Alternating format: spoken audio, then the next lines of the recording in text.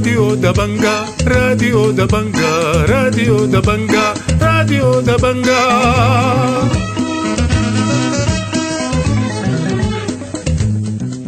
أهلا. ومرحبا بكم مستمعي راديو دبنج الأعزاء في برنامجنا ليوم الجمعة الموافق 29 يناير عام 2021 برنامجنا بيشتمل على نشرة الأخبار وبرامج أخرى متفرقة ولكن في البداية حنقدم لكم نشرة الأخبار وإليكم عناوينها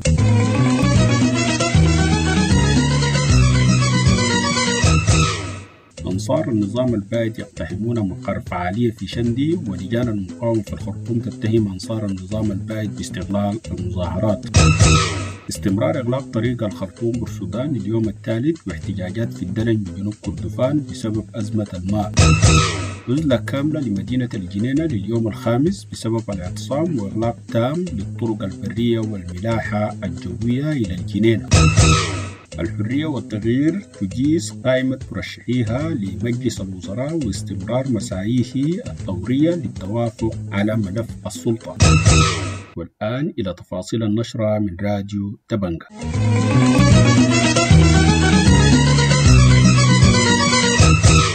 اتفق مجلس شركاء الفترة الانتقالية في اجتماعه بالقصر الجمهوري أمس برئاسة البرهان على مصفوفة زمنية محددة لاستكمال هياكل الفترة الانتقالية المجلس السيادي مجلس الوزراء والمجلس التشريعي والولاء. وحددت المصفوفة يوم الأحد القادم لطرح برنامج الحكومة بينما حددت يوم الخميس القادم موعدا لاستكمال تشكيل مجلسي السيادة والوزراء وتقرر وفقا للمصفوفة تكوين المجلس التشريعي والمفوضيات منتصف الشهر القادم. كشفت مصادر عن إجازة المجلس المركزي للحرية والتغيير أمس قائمة ترشيحات مجلس الوزراء فيما لا تزال الوساطة تبذل مساعي لتوافق أطراف العملية السلمية على قائمة المرشحين. وأوضحت المصادر أن حزب الأمة حاز على أربع وزارات. من جهته أعلن تجمع القوى المدنية انسحابه من اجتماع المجلس المركزي للحرية والتغيير والخاص بإجازة ترشيحات مجلس الوزراء. وعزى ذلك في تصريح صحفي لاعتماد الترشيحات على المحاصصة الحزبية وإعلاء معيار الالتزام الحزبي بدلا عن الكفاءة. ونوهوا إلى الإخلال بمعيار تمثيل النساء بما لا يقل عن 40% فيما بلغت نسبة المشاركة الحالية في قائمة الترشيحات 11% فقط بواقع 6 نساء من أصل 59 مرشحا. كما أعلن الحزب الوطني الاتحادي انسحابه من اجتماع المجلس المركزي لقوى التغيير وسحب مرشحيه.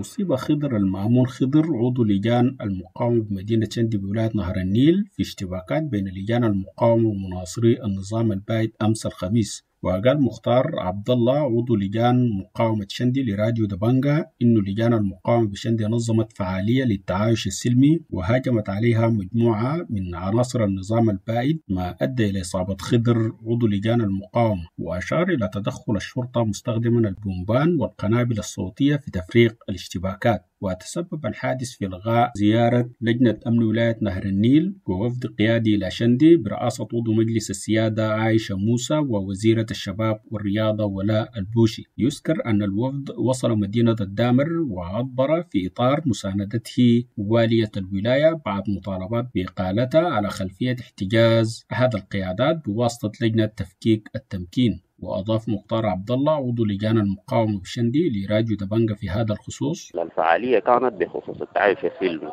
جو جماعة وهم تقريبا كلهم ينتموا للنظام السابق يعترضوا المسار بتاع الحاجة دي. فهم يتدخلوا بصورة عنيفة كده ونحن لما تصدينا عليهم تدخلت الشرطة وحسمت الموضوع. وفي جنوب كردفان شهدت مدينة الدلج أمس احتجاجات وإغلاق بيارة الماء بسبب انقطاع مياه الشرب واتهم المحتجون إدارة المياه بقطع الإمداد المائي عن المواطنين بغرض الاستثمار فيها عن طريق عربات الكارو وقال مواطنون في الدلج لراديو دبنجا أن المدينة تشهد منذ أسابيع أزمة حادة في مياه الشرب مع ارتفاع سعر برميل الماء إلى 200 جنيه. وأشار إلى أن أزمة المياه دفعت المواطنين للاحتجاج وقفل البيارة الرئيسية بالمدينة مطالبين بفتح شبكة المياه وإيقاف البيع عبر الكوارو وتعهدت إدارة المياه بإعادة انسياب المياه في الشبكة خلال اليومين المقبلين. وأضاف مواطن من الدلني لراديو دبنجا في هذا الخصوص. المية بتكون ما واصلة اليوم والزمن كله مقطوعة السهريج شغالة يعني في الكوارث بينقلوا لكن في نفس الزمن الموية ما واصلين في الحلة. شغالين بالاستثمار مواطنين ما عندهم موية. المواطنين جه قالوا كيف الناس يشغلوا استثمار وما ما يشغلوا لنا موية. اعتبرت تنسيقية لجان المقاومة بالجنينة استخدام القبائل في الاعتصامات والمطالبات السياسية ردة صريحة عن الثورة التي تتجاوز الانتماءات الإثنية بما يفتح الباب واسعا على مصراعيه لتكتلات إثنية مماثلة في المستقبل. وأعلنت في بيان لها رفض إغلاق الطرق الرئيسية التي تربط الولاية بالمحليات والولايات الأخرى. وقالت أن ذلك أدى لإيقاف إمداد الولاية بالمواد الأساسية وخاصة الطبية وتعطيل حركة المواطنين وحقهم في التنقل وحرمانهم من وسائل كسب عيشهم. وأشارت الانقسام مجتمع ولاية غربي دارفور حول الاعتصام الذي يجري في الجنينة موضحة أن الاعتصام بدأ باسم مكونات قبلية ويقوده عدد من أنصار النظام البائد. وأكدت تمسكها ودعمها لوالي الولاية محمد عبد الله الدومة الذي أتت به قوى ثورية ولم تأتي به المكونات الاجتماعية الموجودة على مستوى الولاية. تسبب اعتصام القبائل العربية في الجنينة الذي يستمر ليومه الخامس في عزلة تامة للمدينة عن بقية المحليات والولايات بعد إغلاق جميع الطرق والجسور والمداخل الرئيسية بجانب حركة الملاحة الجوية ويطالب المعتصمون بإقالة الوالي وإبعاد معسكرات النازحين من المدينة وإعادة هيكلة قوات الشرطة. وأقر المعتصمون بأن إغلاق الطرق تسبب في معاناة المواطنين مطالبين الحكومة بالإسراع بتلبية مطالبهم الأساسية.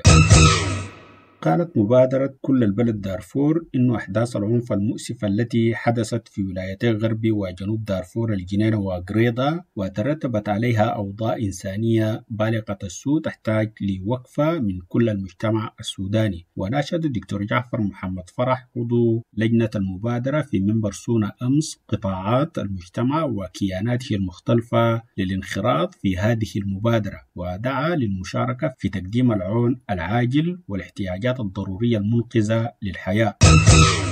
توقفت حركة الشاحنات والباصات السفرية بين الخرطوم وبورسودان لليوم الثالث على التوالي بسبب إغلاق الطريق بواسطة مناصري رئيس وزراء النظام البائد محمد طاهر إيلا. وقال مواطنون لراديو دبنجا أن إغلاق الطريق تسبب في تفاقم معاناة المسافرين من بورسودان إلى بقية الولايات كما أدت لتأخير شاحنات الوقود المتجهة من ميناء بورسودان إلى الخرطوم وأدى إغلاق الطريق لارتفاع سعر التذكرة في عربات نصف النقل البكاسي من سنكات بورسودان إلى 2000 جنيه للفرد والتاكسي إلى 5000 كما تسبب في ارتفاع أسعار السلع في منطقة سنكات والمناطق المجاورة لها والتي تعتمد على جلب المواد من بورسودان وعادت حركة المرور مرة أخرى وفتح الطريق القومي أمام حركة الشاحنات مساء أمس. تواصلت الاحتجاجات وإغلاق الطرق والكباري في الخرطوم وعدد من المدن بسبب تردي الأوضاع المعيشية وزيادة أسعار الخبز والجازولين واتهمت عدد من فرعيات لجان المقاومة منسوبين نظام البائد بإغلاق الطرق. وأغلق محتجون كبر الفتحاب الذي يربط بين الخرطوم ومدرمان فيما سيرت مجموعة موكبا إلى مقر لجنة إزالة التمكين في الخرطوم وتنوعت مطالب المحتجين بين المطالبة بتحسين الوضع الاقتصادي وإسقاط الحكومة الحالية. أدانت لجان أحياء بحري بشدة من وصفتهم بالمخربين والمغردين الذين يستغلون هذه الأزمة للتعدي على المواطنين وممتلكاتهم ورفع شعارات تمكين العسكر من السلطة. واعتبرت ذلك محاولات بائسة من فلول النظام البائد والمتربصين لدق إسفين الفتنة بين القوى الثورية وحاضنتها الجماهيرية داعية للمزيد من التنظيم والاصطفاف والتشبيك لعزل هذه العناصر ومحاصرتها وكشف مخططاتها. وأعلنت لجان أحياء بحري تسيير مواكب يوم السبت إلى القصر الجمهوري ومجلس الوزراء لإسقاط سياسات رفع الدعم عن السلع والخدمات الأساسية. وأضاف أحد المشاركين في الاحتجاجات الآن تسقط لما تسقط. يسقط جد. مدنيين على عساكر كبر الفتحات الآن تسقط لما تسقط. شغ مدني على شغ عسكري على أي حاجة. كله يسقط بس. لا بينفعوا معانا لا مدنيين لا عساكر. لا كيزان. كل حنبلوا ومشتبكين كافرين بالنخب ولا عساكر. مؤمنين بالله وشوارعنا التي لا تخن. وقادرين. ما في أي حاجة بتوقفنا. هدفنا إسقاط شامل. تسقط لما تسقط. دي قلنا شغ مدني على شغ عسكري. ومواصلين في الشارع. مهما كان شيطانون وقالوا كذا أي حاجة.